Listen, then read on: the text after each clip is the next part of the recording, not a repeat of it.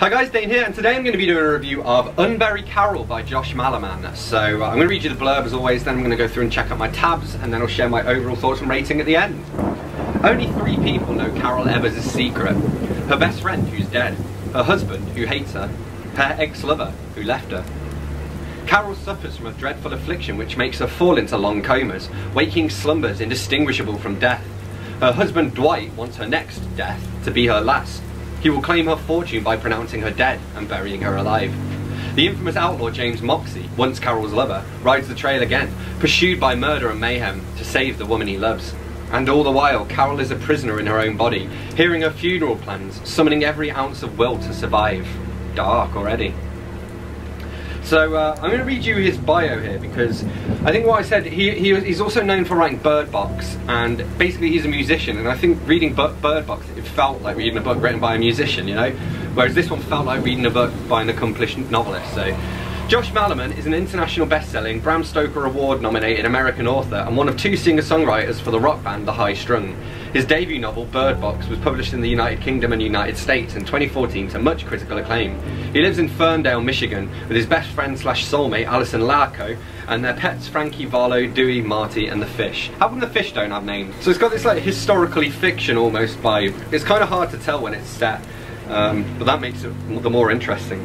So we have a great quote here. It was a very delicate business planning a murder, and one had to be very careful with what one showed and what one didn't. And Dwight gets angry not because uh, not because this woman he's sort of seeing had suggested killing his wife, but because she'd emasculated him. He's very uh, that's kind of why he wants to get rid of his wife as well because she uh, she's like the one who owns all the money basically. And I thought this is interesting. A guy called Moxie, I think he's the lover, and um, he says uh, Moxie felt the pressure of two days upon him and thought distantly how time, like air, has a way of running out. And that's interesting because that's like the countdown till he can get back to hopefully stop her being buried. And obviously air will run out in her grave. I'd like to start this chapter here. We have, while Farrell was returning home from mailing her telegram to James Moxie, I think she could hardly believe she did, and I think she wasn't sure why she did, except for a feeling that he should know. Her husband, Clyde, was battling a hangover the enthusiastic way. He was already drinking at the Lamb's Wool. Interesting pub name as well.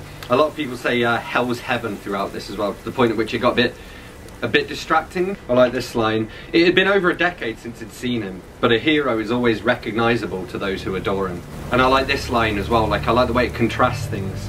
Not only had Dwight never hired a man to murder before, he hadn't paid for laundry in almost two decades. Although the rule is supposed to always be not only but also, so that's technically bad writing there.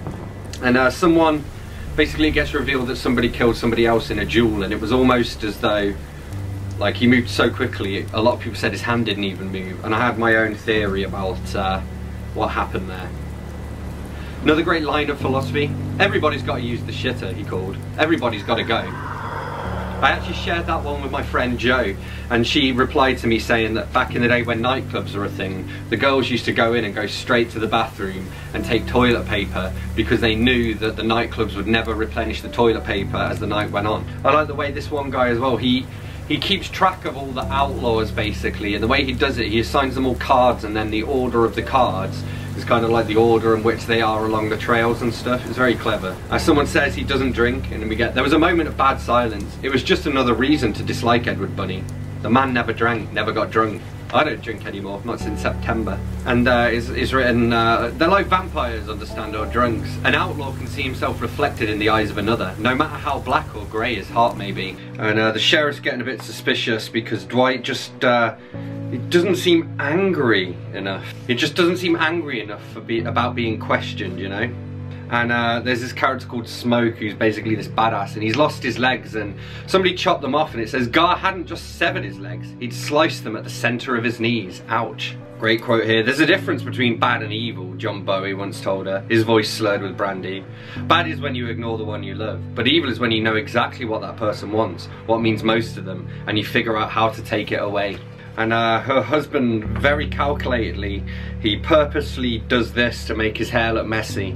And he says how terribly sad he thought mimicking the voices of the townspeople. Evers is so distraught he forgot to comb his hair. And I thought that was just sinister and it's how calculated it was. Uh, and obviously all this throughout it, it kept making me think and there's even a quote where she's trying to shout I'm not dead and it just reminds me uh, Granny Weatherwax in Terry Pratchett's Discworld. She can go like borrowing so she can inhabit the minds of animals. And when she does that, she leaves a little sign around her neck just says, saying, I ain't dead. And we find out towards the end that Carol's mother had uh, also got the same condition and she'd been working on not necessarily a cure but a backup plan. Uh, but I don't want to let you know how that goes. But uh, overall, as you can tell, I did enjoy this book. I thought it was very well written.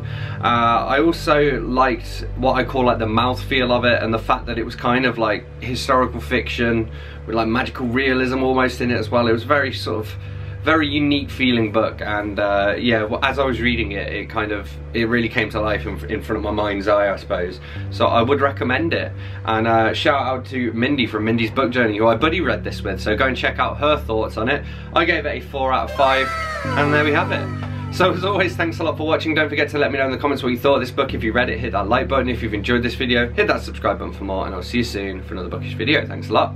Bye-bye.